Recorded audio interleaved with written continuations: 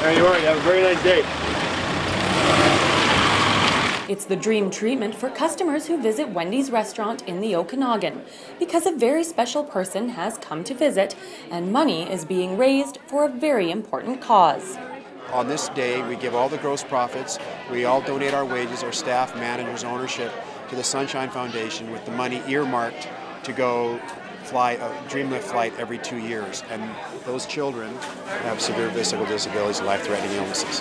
This year, Wendy Thomas, the little girl with the red pigtails, who's all grown up, has come to the southern interior to celebrate the raising of $1 million cumulatively since Wendy's Dreamlift Day started in 1995.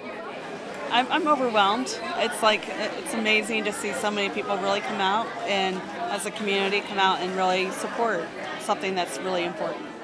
And the day wouldn't be possible without volunteers like the West Side Warriors. It's fun just because you know it's going to for a good reason and you're kind of making a difference in uh, kids' lives and stuff. So it's uh, it's not really a burden on you at all. It's been fun so far.